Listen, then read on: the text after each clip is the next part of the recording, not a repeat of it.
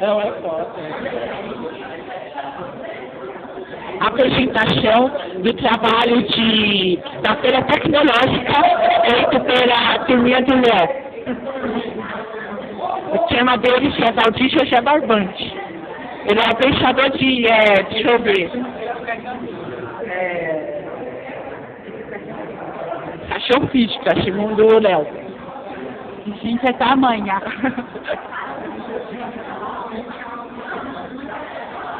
Eu ainda não entendi porque fizeram a escritura do José Barbante de Barbante. Eu ainda não entendi. Fizeram foi trocadilho, mas eu não entendi. Gente, podia ser olhando.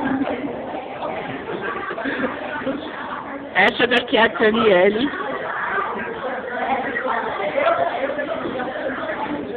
A beijadora, não pode.